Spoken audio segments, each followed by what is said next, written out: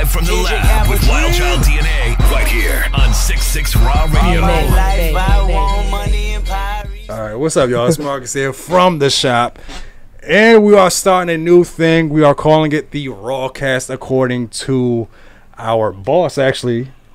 So we're going to introduce this guy. He's actually the boss, the CEO, DJ Wildchild Boss DNA, man.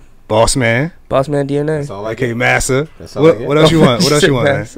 He's a nation's nigga. He's number one. DJ. He's a core DJ. You know, the biggest mixtape DJ in the region of the DMV. He, nah, I mean, do a lot.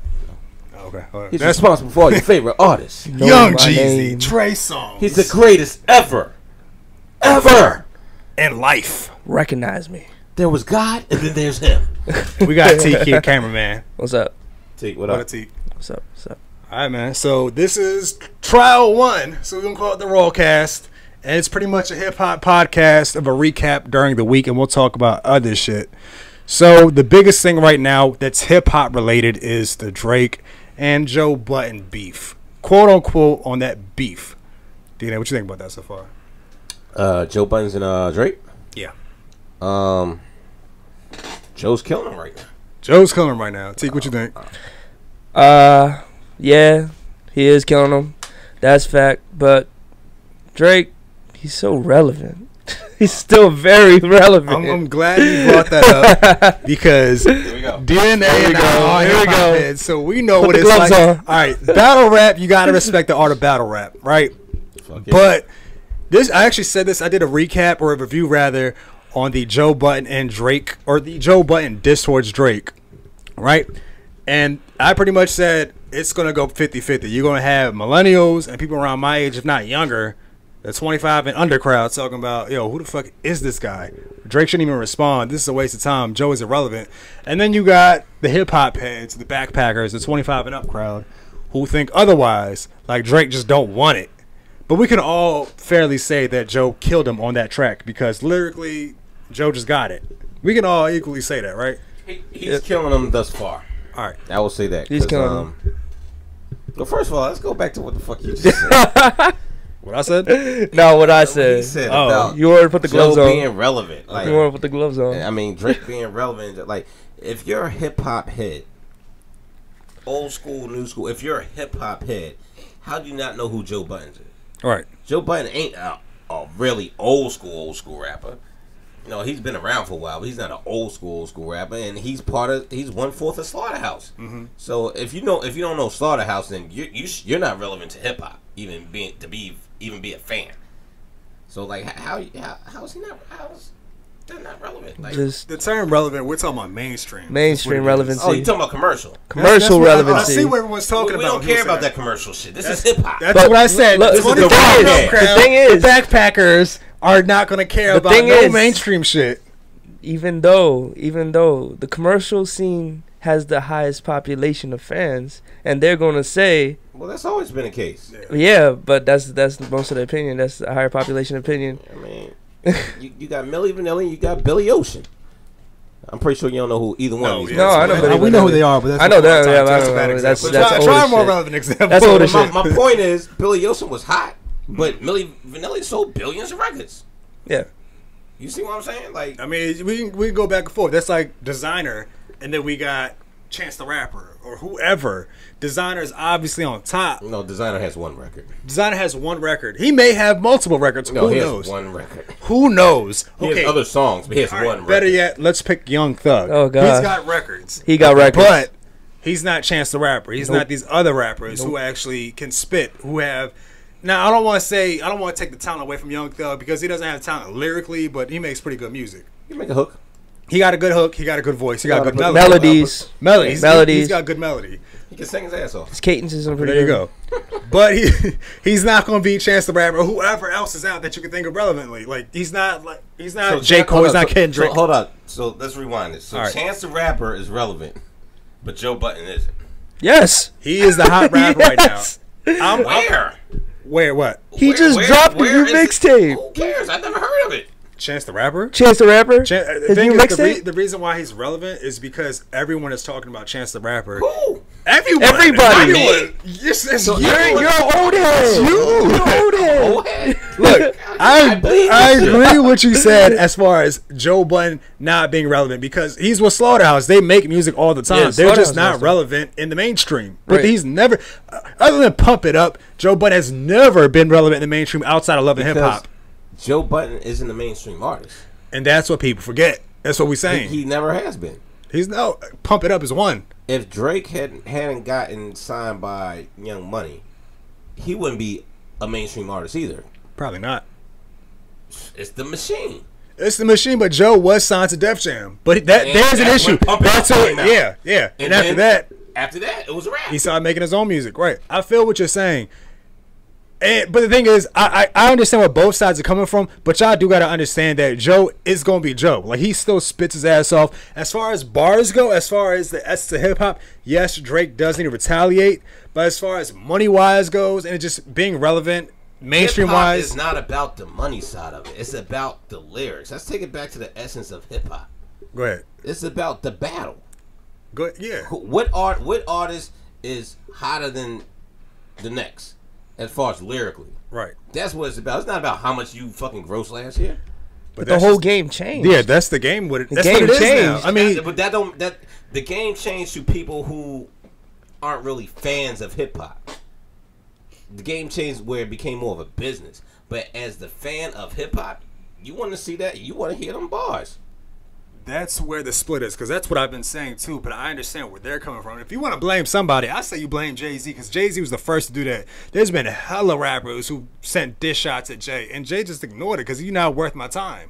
That's pretty much what I think. That's what Drake is looking at as. Really, No, Drake should no, still no, reply, no, in my no, no, opinion. no.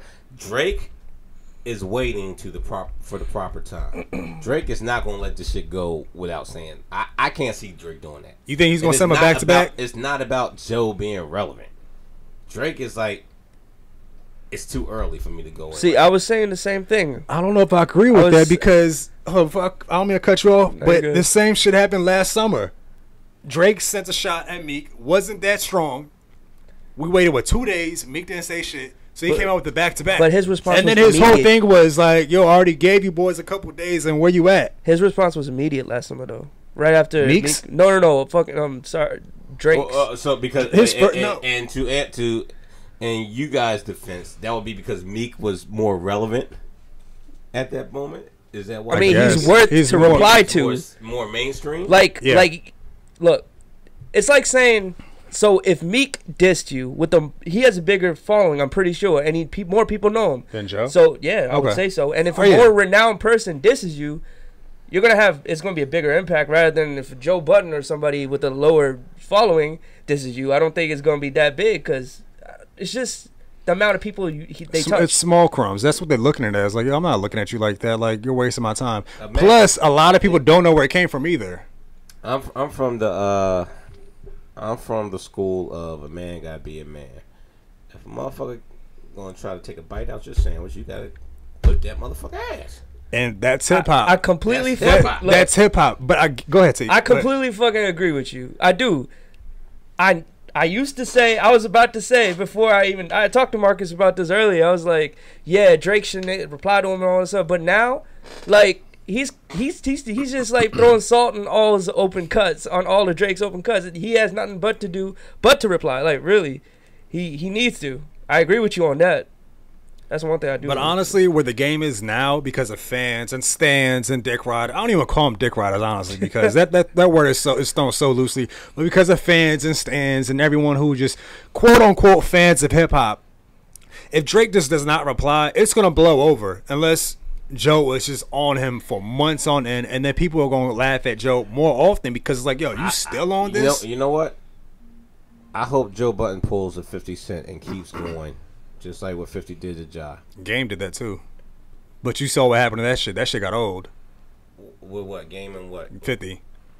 Yeah, but And you saw 50 never 50 and G Unit replied, but they didn't carry it on for years. Like Game still brings up G Unit till this day. Like on documentary 2.5. that's, that- that's Chuck. That's game. gonna Like, he, he played just he just likes dropping names. That's just something he does. That's part of his okay. thing. Right. That's part of his thing. But how 50 ended Ja was because he kept on, kept on. So you think Joe can end Drake? I don't think he can uh, end Drake's career, but I think as far as Drake's uh, hip hop respect, yeah, he definitely can. Well, Drake already took a hit on his hip hop respect with the whole allegations of him not writing his own bars. But think about it. That, Yeah, did that really he- affect but, him? But then he came, yeah, but then he came back with back to back, and you See, know that's he the- wrote that shit. but see, here's back the to back was sick. Here's the thing. Like, what, what, what did you just say I too? said, did that really affect him though? we everyone thought it would. Affect, so him, if affect Joe- him how? The uh, Drake and he's his- actually going off of what you said because you're His saying success did it did it affect him at all? Like that? It- it- that's what I'm saying. It's not going to affect his success, but as far His as credibility. hip, his credibility, yeah, because it, did affect him. Because I hear hip hop cats talking about when you mention Drake, oh that nigga don't write, his own shit, all right. and I'm like, uh, y'all must be talking about a different Drake, because yeah, he helps out with writing songs, but he get he might get help with writing songs here and there, but as far as lyrics, bar for bar, Hmm. yeah, I can't see nobody writing some of the shit that Drake comes up with. No, I mean, no, no and- one's and- taking away and- his and- talent. And that's that's coming from somebody who's listened to Drake since Drake first came out, the underground Drake before he got signed, Yeah. signed to Mm. Young Money. Like he's always been lyrical. So what? He had ghostwriters before anybody knew who he was. No, of course not. nah, he picked that shit up. Right. And the shit that you're saying he got the ghostwriter for is like some commercial shit. That's what I think too. I've been kind of saying it to myself. I was like, I, I feel like the people who write his shit, They're or, right. or the, the songs they get they get written by other people, are his his, his radio hits. yeah, and there's people on your His team. singy-songy yeah, songs. people need help with hooks, hits. Mm. That's just song making. That's not. That's not. People did say that. I mean, Meek did say the one track that he wrote on Meek's verse or Meek's song was Rico? written by somebody. Was it was Rico, right? that shit's a fucking commercial record. It's a commercial record. Was it? Yeah. I don't remember. That was last summer. I didn't listen to Meek. I Mill's mean, behind last behind year. uh, had, had Meek not instigated that beef, Mm. that would probably been the biggest record on Meek's album. It probably would have because it had Drake on there. And But I feel like he felt commercial record. didn't he feel like somewhat disrespected too because it's like yo you need to write your own shit on my song. Yeah, that was some dumb shit. Fuck up his. he should have just kept sales. his mouth fucking. Shut he should really should have. Really Shut the should've. fuck up and get your check. Because it, it was the same. The same thing was proven on the YG song too, wasn't it? Somebody else wrote it. It was what's his face, the dude that got jumped What, by Who Dream You Love? Chasers. Quentin Miller. Yeah. Quentin then Miller. somebody then didn't he write that that track too? That Which verse. one of the YG? Oh, I ain't know, I ain't hear about that one. That's what I heard. Party I, thi- Next I think Door. so. I know think Party so. Next Door uh, wrote Legend. Part of Legend. Hmm. Off that mixtape. Well, I mean, like, like pretty much what you were just saying. He did not take a hit. He somewhat did because, like, what DNA was talking about. A lot of hip hop heads aren't respect, respecting him for that reason. But I feel like the same thing is going to happen. Doesn't matter how many times DNA or not DNA, DNA get a Drake. How many times Joe Budden gets that Drake? I'm pretty sure he's still going to have his fans. It's gonna get played out. it's going to get played out because a lot of his fans aren't the quote unquote hip hop heads. They're the pop heads. There's there's You like know? a half. The hip hop heads are in the minority. Yes. man. And when it comes to Drake's music, the hip hop heads are the Yeah. minority. He has the fan base, he has respect, but he lost respect because of that. And he may lose respect more if he doesn't respond to Joe. So I'm I, I think he should respond honestly for the sake of hip hop. But Because his, his it's, it's entertaining. in, in, in But- any type of danger. Right, I, exactly. He doesn't need to. He does not need to at all not. because he's still going to have all his fans. His albums are still going to go platinum or gold or whatever they do, regardless if he responds. But as a fan of hip hop and just want to see some entertainment, he should. Hell yeah, you should. It's all reputation. Yeah, it's all reputation. Exactly, it's all care how many reputation. albums you sell. I care about the bars. We, we get that. We understand. we get that. But I care about this hip hop shit. right, That's what I breathe. I don't give a fuck how many. What what you sell ain't gonna make me shit.